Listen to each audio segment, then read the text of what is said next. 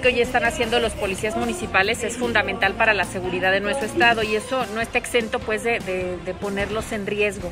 Eh, hemos estado en pláticas con el alcalde y pues eh, el llamado a los municipios a seguir fortaleciendo a sus corporaciones y a brindar sobre todo la seguridad en aquellos casos donde haya algunos elementos que